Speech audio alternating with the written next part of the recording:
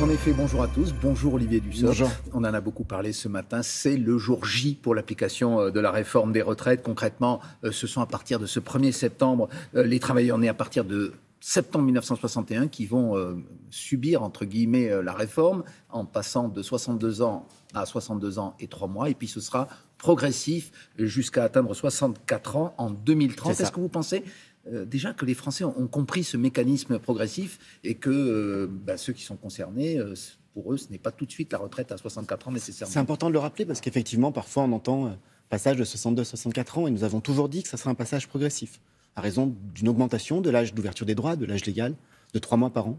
Et donc aujourd'hui, effectivement, c'est un relèvement de 3 mois, de 62 à 62 ans et 3 mois, et puis chaque année trois mois seront ajoutés pour atteindre 64 ans progressivement.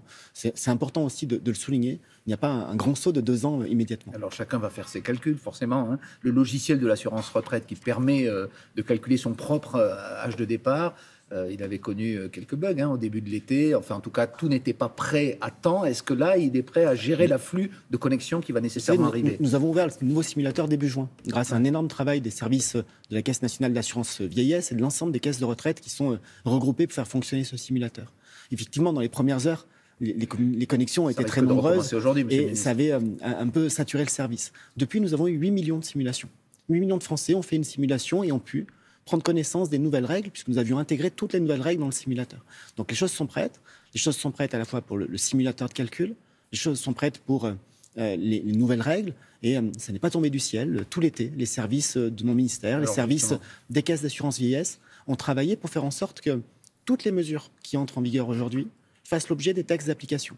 Et donc, nous avons 83% des textes qui ont été publiés. Pourquoi seulement 83% Parce qu'il y a quelques mesures qui vont entrer en vigueur uniquement en 2024, voire en 2025. Et donc, les décrets vont être publiés dans les prochaines semaines. Mais toutes les mesures Par qui exemple, entrent en vigueur sur les personnes qui dépensent de qui dépendent pardon, de plusieurs caisses de retraite? Non, ce n'est pas pour euh, cela. C'est essentiellement des mesures de coordination. C'est euh, par exemple des engagements que nous avons pris, en, c'est très technique, mais sur les modalités de calcul de la cotisation des entreprises pour la branche accident du travail, c'est très technique.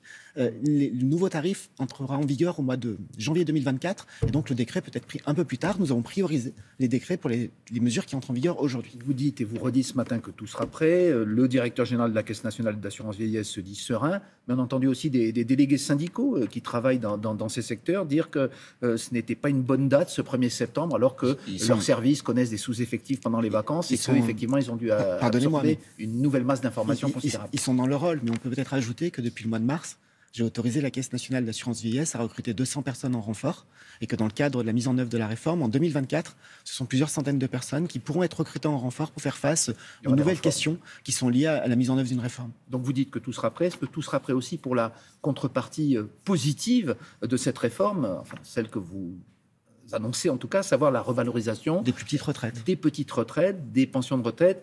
Ce sont d'abord les, les minimums retraites qui vont être donc concernés euh, et avant tout il y a, je crois, 800 000 nouveaux retraités chaque, année.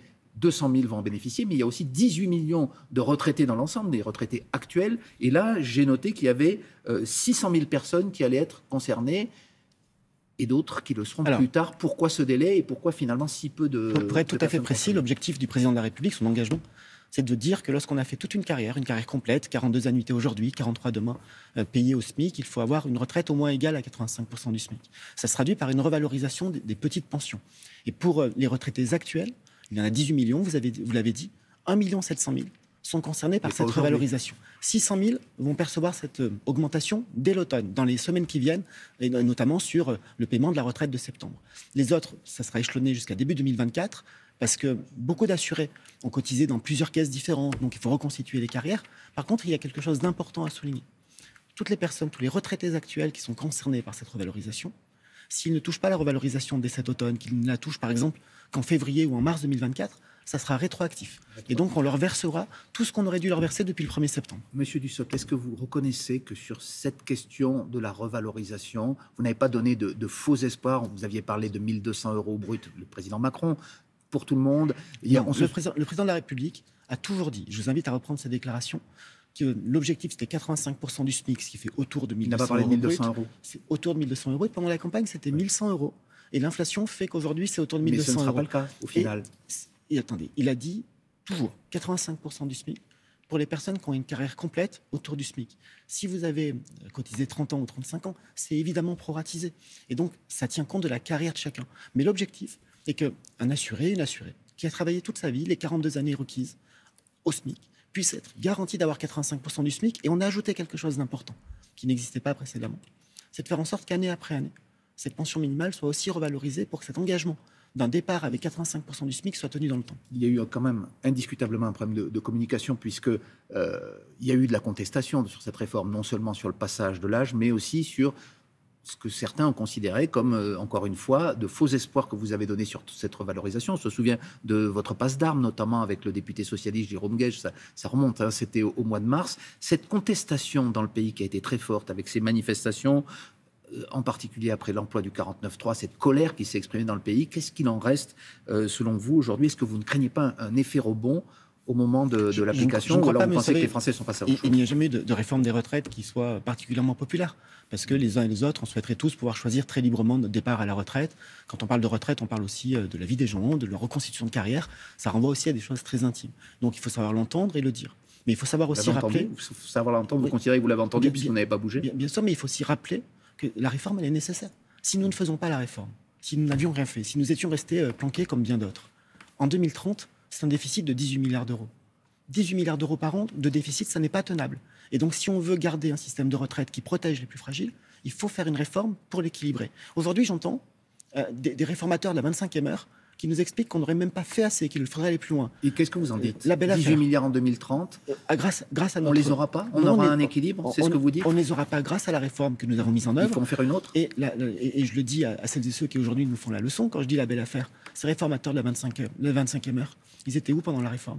Ils avaient piscine, ils étaient planqués, ils nous tiraient dans le dos. Nous, on a fait cette réforme, on l'a fait conformément aux engagements du président de la République. à qui Pour équilibrer le système. Aux, Républicains, par exemple? Non, parce que beaucoup d'entre eux ont, soutenu et ont permis euh, d'accompagner cette réforme. Mais vous dites quand même qu'il faudra une autre réforme pour. Non, vous savez, la, la, réforme que nous avons faite permet de revenir à l'équilibre progressivement, permet d'envisager euh, l'avenir assez sereinement que sera l'avenir économique, que sera l'avenir démographique de notre pays dans 15 ans ou dans 20 ans, je ne le sais pas.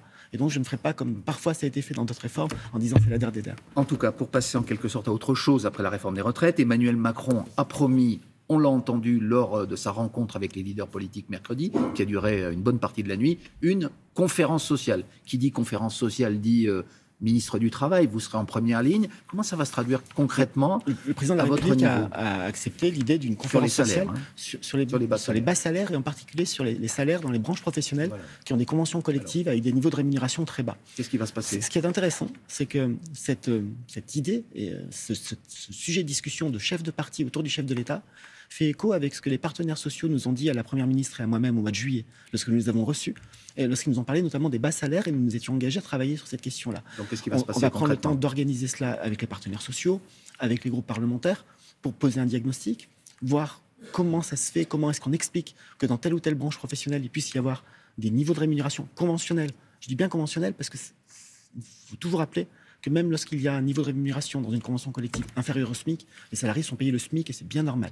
Mais il y a des conventions collectives qui ne sont pas encore au niveau.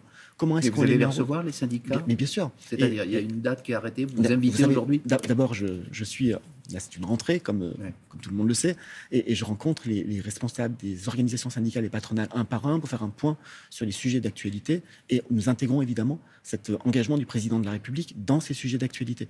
Nous allons ensuite voir avec la Première ministre sous quel délai nous organisons cette conférence, avec quelle forme, quels sont les débouchés que nous attendons, avec à la fois la volonté de bien comprendre, de bien identifier les sujets et, de faire en sorte de redonner les perspectives salariales et professionnelles aux salariés des branches dans lesquelles les salaires sont les plus bas. Est-ce que vous, Olivier Dussopt, vous plaidez pour une augmentation générale des salaires? On en parlait tout à l'heure avant 7h30 euh, sur cette question. C'est l'affaire d'abord des syndicats et du patronat. vous avez que dit, le gouvernement? En, France, Il faut augmenter les salaires? C'est important. en France, nous avons euh, deux mécanismes un mécanisme qui fait que l'État fixe le salaire minimum. Et c'est un mécanisme protecteur, puisque lorsqu'il y a inflation, il y a augmentation du salaire minimum. Puis il y a un deuxième mécanisme qui s'appelle le dialogue social, le dialogue de branche. Et la, détermination des salaires relève du dialogue social et non pas de l'État. Il est aiguillonné par l'État. Donc qu'est-ce que vous préconisez Augmentation ou pas des salaires Nous avons toujours dit que lorsque les entreprises le peuvent, elles doivent évidemment augmenter les salaires de leurs salariés pour les accompagner. Mais nous faisons aussi d'autres choses.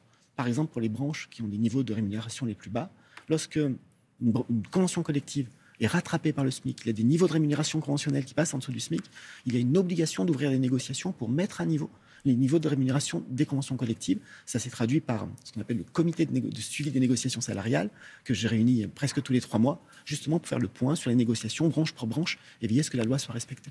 Eh bien, merci beaucoup, merci Olivier Dussopt, ministre du Travail. On vous entendu ce matin.